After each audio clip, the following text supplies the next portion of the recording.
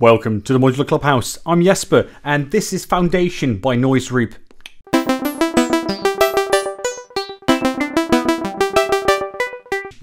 So, Foundation is Noise Reap's kick drum or bass drum, whatever you prefer, uh, module. And on the one hand, you might say, well, it's a kick drum, so what's what's there to it? Well, it's got a great recognizable analog quality to this, even though this is not a completely analog module. There are some digital components in there. So for instance, the well, mm, two of the three envelopes in this module are well indeed controlled digitally. So it has a bit of that hybrid approach, that that best of both worlds kind of thing going for it. And well, before I, I have to say something about the, the overall aesthetic of this this great module. It just looks great, and I can't say that that's all there is to it, but it, it, it truly adds to the well the enjoyability of working with this device. So I've spent a great number of hours just with this module, just exploring sounds, exploring bass drums, and it's just a, a really playable module there as well. But uh, don't just take my word for it, let me show you. So I would say, um, here we go. So there we have the Foundation by Noise Reap. This is actually the first in three modules I'm going to be demoing and reviewing from Noise Reap. So the second is the Anomaly and the third is the three times VCA. Well, you don't need to uh, have a doctorate to understand what kind of a module that is, uh, but the foundation is a bass drum module, an analog bass drum module that well can also be used as a um, well, a sine oscillator, uh, as a noise source, as an envelope, uh, but of course, most importantly, the actual drum itself. So let's do a quick overview of the UI. So the, um, the first thing here is of course the trigger input and it's labeled as strike. Then you've got your ring, which is essentially a decay, um, so how long the actual sound will last, so how long it will ring out, so to say. And you've got CV control over that length there too.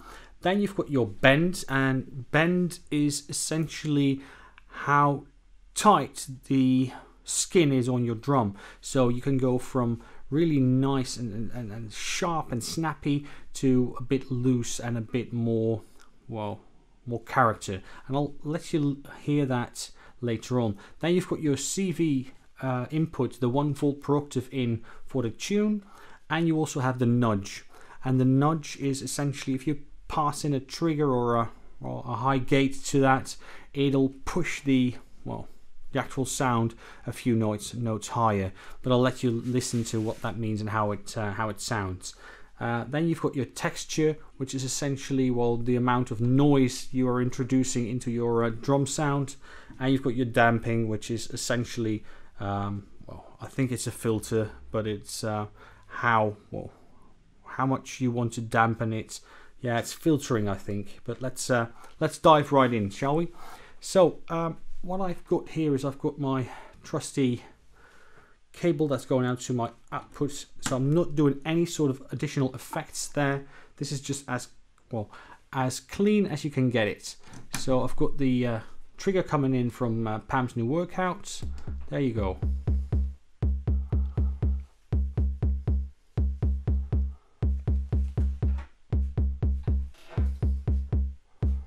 So let's turn the ring all the way down trying to make it as clean as can be. So ring.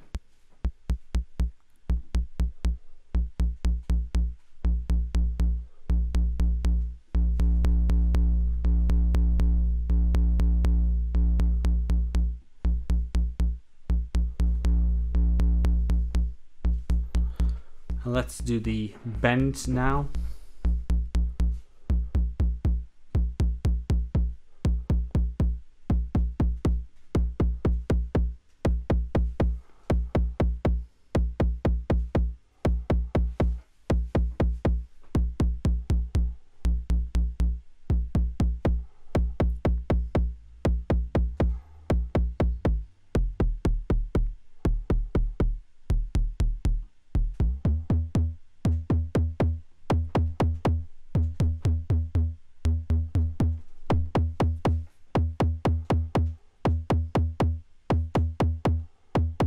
Introduce some noise.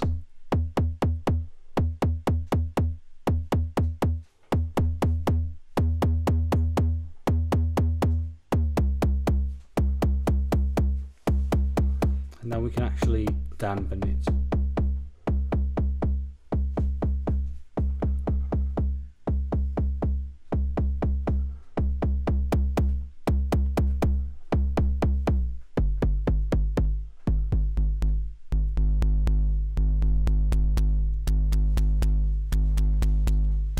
So that's essentially all there is to it, to the actual, to the actual sound. But the interesting thing is, of course, you can also use this as a, well, as a sine generator. So if I just disconnect this for now and connect this one straight there, you've got a very nice deep sine generator. There you go.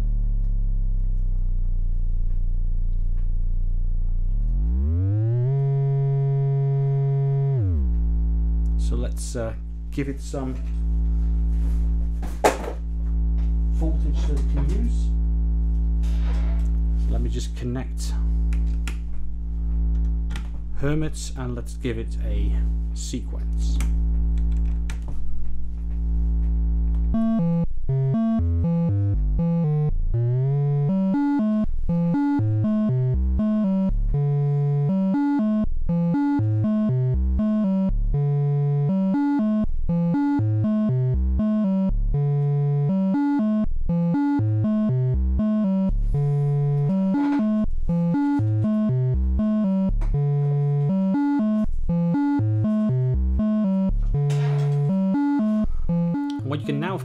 Also do is grab this one.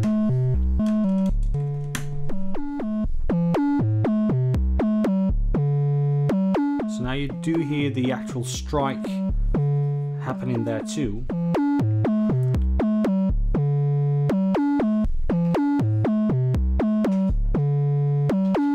And then of course because you also have an envelope being generated there so let's grab the envelope and I'm just going to use the three times VCA. So this is the CV. Let's turn that up a bit.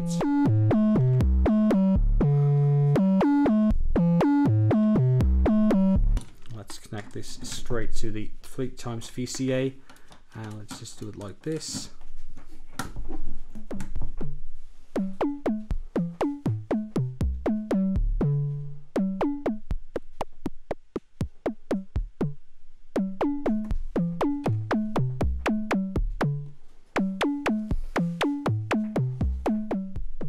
Essentially we're creating the, the bass drum again by using the envelope and the sine generator. Uh, then if you mix in some, some white noise, you essentially get the texture back. So this is one way to do that, but the other thing is of course you can just you straight use the, the, the, the drum output there. Because the envelope that you've got here is of course the exact same one that we've got on the drum one. But it is absolutely great that you've got that envelope out because you can then use that for other purposes. And you can use them at the same time you can use them however you want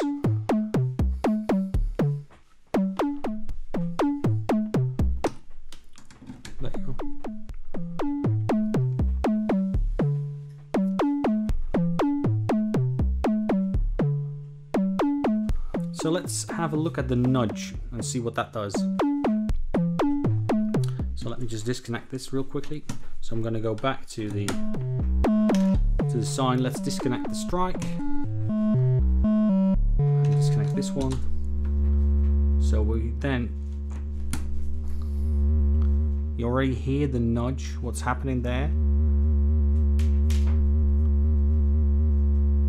So there is some movement there, but what I'm going to do is I'm going to grab a bit of a longer gate so you can actually see what's happening. So here we go. So this is now on, it's being nudged, and now it's no longer nudged. So you see that shifts from a, uh, a D sharp to a D. So there's a semitone of difference there.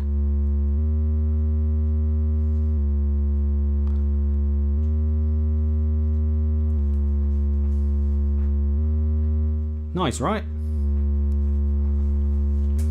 So you can use this to make things more dynamic, of course. So you can use this and then grab the, the drum here and let's grab the well which one are we going to be using let's grab another one so grab this one as a trigger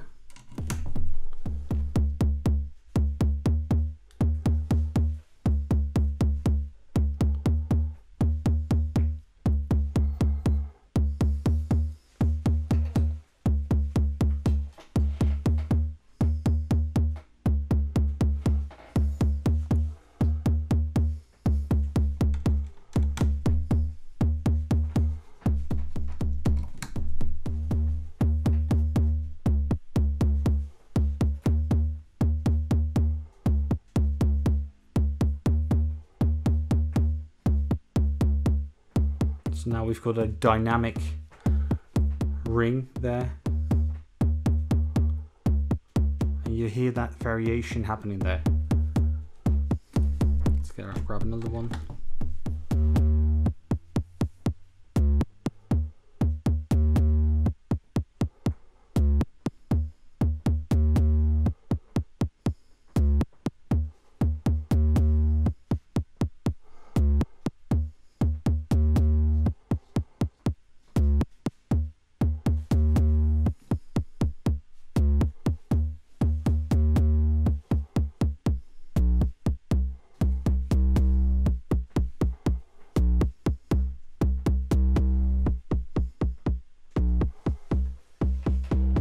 So let's build a, uh, a quick patch with this, shall we?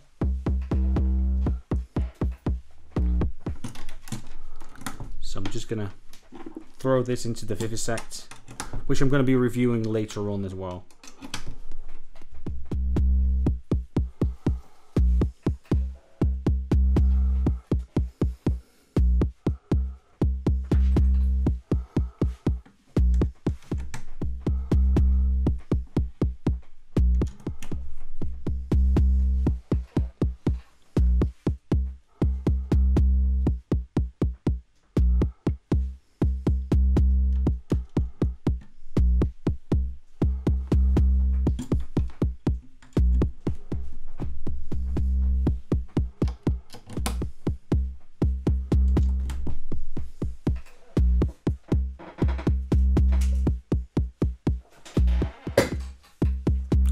Grab a, an envelope from a Ataxia.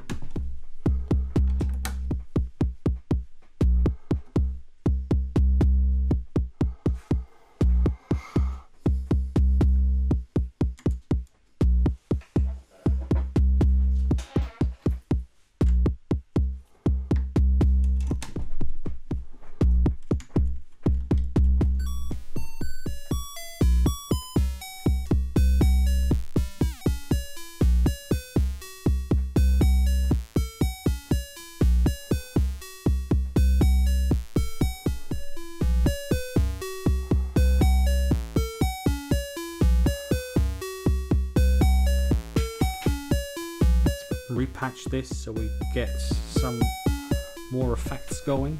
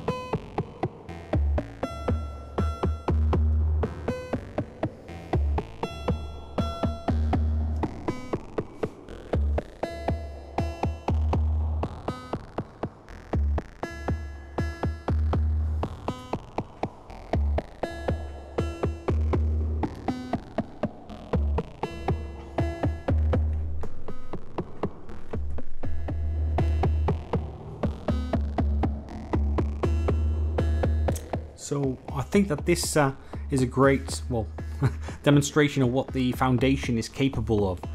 I think that it's a great module. I love it. Um, I can't compare it to any other um, analog bass drum kits that I've got. I can only compare it to the um, well to the to the digital ones that I've got. So like the the, the Proc, and well, this is just such a great thing. I found myself tinkering with this hours on end. So I think that uh, it truly earns its place in my uh, in my rack. Uh, but let's uh, wrap this all up. Let's go back to the studio and we'll uh, see each other there. Cheers.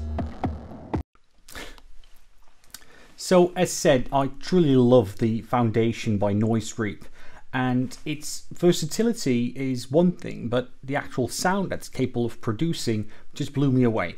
Uh, talking a bit more about those features, uh, one of the things I totally forgot to um, to stress during the actual demo, and I, I, was planning to do this, is actually using the the envelope as a well automatic side chaining capability. So what, what you then do is you grab the out the, the envelope from here, and you then invert that and use that on anything else that you want to uh, or side chain to your um, to your bass drum. Um, there's a great video on the Noise Reap uh, website that shows how, to, how this is done uh, but I might incorporate into one of my uh, future videos as well. Um, other than that, I do have to thank Noise Reap for making this uh, video possible, of course. Uh, thanks so much, Cody. And, well, I think that uh, it goes without saying, I can strongly recommend this module to everyone, independent of what kind of style you're playing because well it's extremely versatile it can do any sort of bass drum that you might want its versatility as mentioned is just great. And well I think that the the sound is unbeatable. So I would say well grab one of these ASAP but for now I would say please everyone stay safe stay healthy and I hope to see you for my next video. Cheers